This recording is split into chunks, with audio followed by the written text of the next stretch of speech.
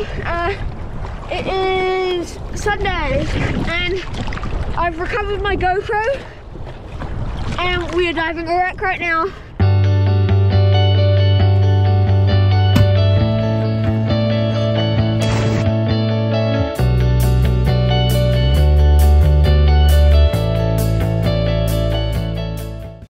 So I'll show you what it looks like.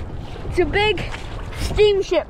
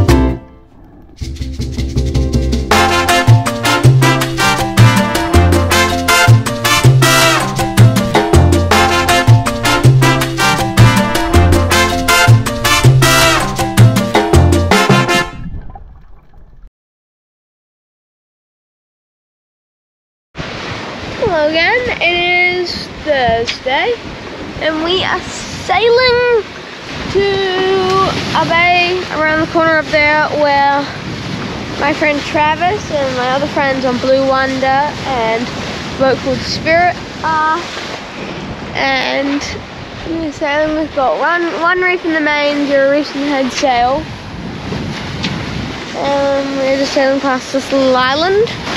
and I'm trying to edit my video, but I'm to feel a little bit sick. I haven't really eaten lunch today. I like to just chill around while sailing.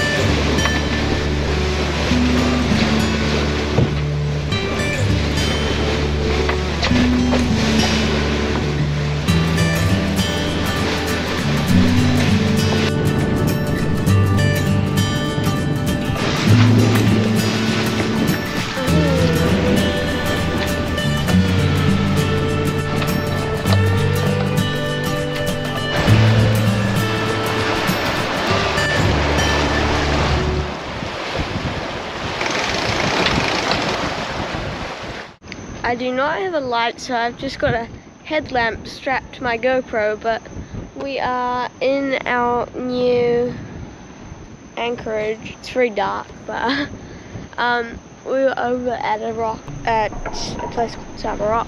So I was not filming, but we are here and we've got a friend boat in the distance, light over there more friend boats over here. And this person with this really cool underwater lights, you can't see them, but yeah. This light isn't really working. I forgot to mention, we also did some surfing on the British Virgin Island of Tortola. It was the waves were quite big and scary. They were breaking on the rocks, so when you took off on the wave, you had to go you had to turn down the waves straight away, otherwise you'll get too close to the rocks. I only got one wave, but it didn't matter because it was I was stoked to be out there, and I sat out there for two hours. But it's just awesome sitting out there watching other people surf, and yeah. There was also guys getting like fully barreled where the wave comes over your head.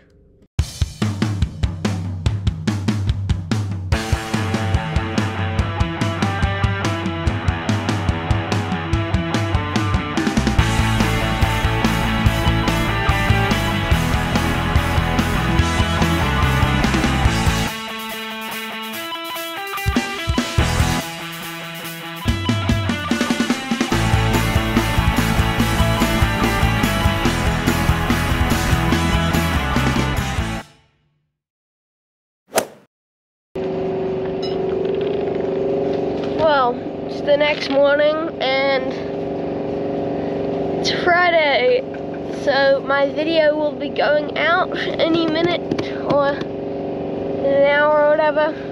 So, gotta wrap it up. But yeah, if you liked it, like and smash that subscribe button because if you know we're selling the boat and help me reach my goal of 4,000 before we leave. See you next time.